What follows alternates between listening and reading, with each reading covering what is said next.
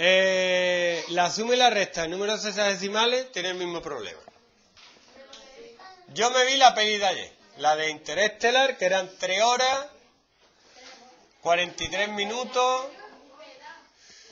41 segundos. Y luego me vi una del Señor los Anillos extendida, que es otro pedazo de película.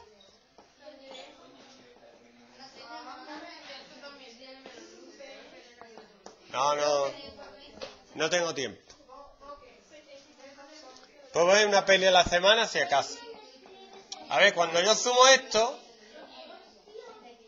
no computa, porque no computa, porque me dan números mayores que 60. Cuando sumo, no puedo sumar. Entonces, lo que tengo que hacer es agrupar 60 segundos de aquí, resto 60 aquí y sumo uno aquí. Me quedan 13 segundos, 95 minutos y 5 horas. Pero es que los minutos todavía no están redondeados. Le resto 60 aquí y lo agrupo con una hora. Y serían 6 horas, 35 minutos, 13 segundos. Y con la recta pasa más o menos lo mismo. ¿Qué pasa con la recta? Que si yo quiero restar o tengo 4 horas, 35 minutos, 43 segundos libres. Y veo una película que dura 2 horas, 48 minutos y 51 segundos. Pues yo no puedo restar y.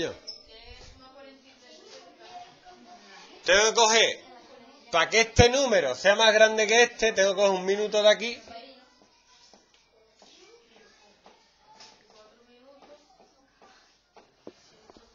Y sumarlo.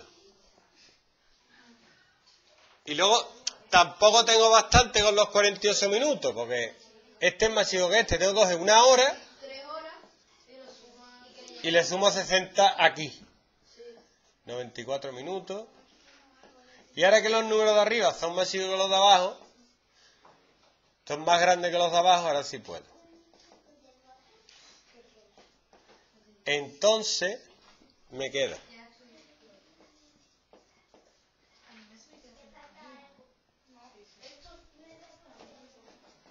Me sobraron una hora, 46 minutos, 52 segundos, que es más cortito. Vamos a lo gordo. ¿Qué es lo gordo?